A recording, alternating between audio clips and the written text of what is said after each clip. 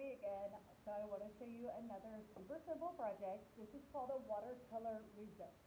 We've done this in our class many times, and most of you guys probably already know how to do this. So this will just be a little tutorial for your parents, okay? So remember, resist means to kind of keep away or push away something. So what you need for this project is some crayons.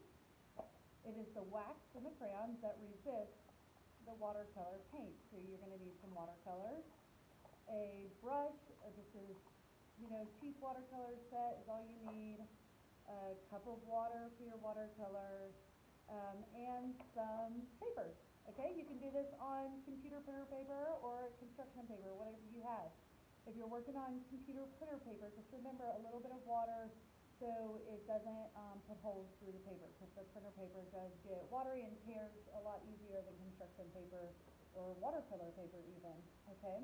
So the first thing we need to do is we are going to create a design on our paper with our crayons, all right? So here's the trick, all right? You need to push hard with your crayons. And I know sometimes crayons break, but that is okay, don't worry. All right, but the point is, is you want your details to be really dark on your paper, okay? You can do just something silly like I did here, or you can do a scene, you can do something abstract, so just like colors and shapes and nothing in particular.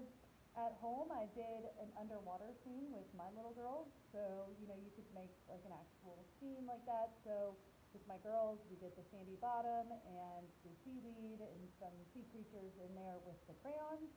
And then the watercolor was the wash on top with the water. Okay, so I created a nice little design here, and so now I'm ready for watercolor. All right, so I am going to get my brush, get my watercolors a little, a little wet, and then I am going to paint straight over my design, okay?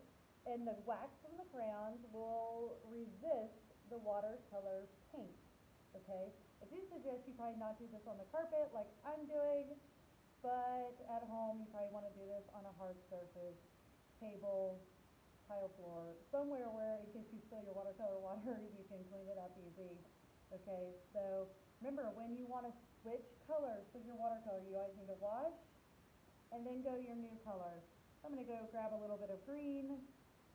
Okay, I'm painting kind of upside down, a little flimsy, so I just want to give you the basic idea with this. Let me come in a little closer so you can see how that crayon is just stopping the watercolor from getting on the paper. All right, so I'm going to wash, and I'm going to add a few more colors. I'm going to just do it quickly down here so you guys can get the idea. Add a little blue at the bottom. And then we are all set here, okay? So again, I just did this super duper quick. You know, the possibilities again are endless with this project because you could draw abstract scenes, you can draw nature scenes. Remember just to push hard with your crayon. If you don't push hard, the, it won't really have enough wax to resist the watercolor. All right? So another super simple project. Miss you guys. Bye.